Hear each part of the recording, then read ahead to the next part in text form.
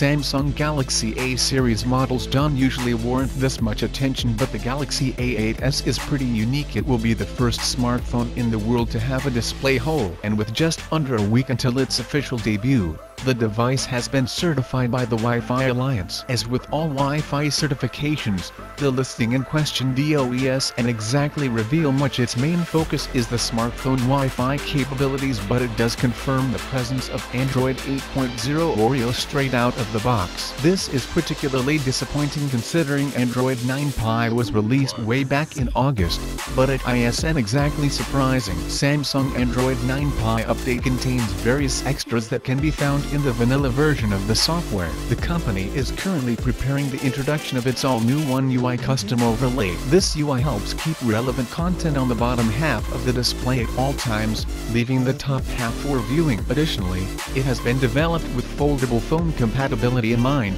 which means it will work seamlessly with the upcoming Galaxy F. The final build of the company Android 9 Pie release will arrive in January for the Galaxy Note 9 and Galaxy S9 series. Samsung is then expected to switch focus to the Galaxy Note 8 and Galaxy S8 devices. However, at this moment in time, it's unclear how soon after release the Galaxy A8s will be updated to the latest version of Android.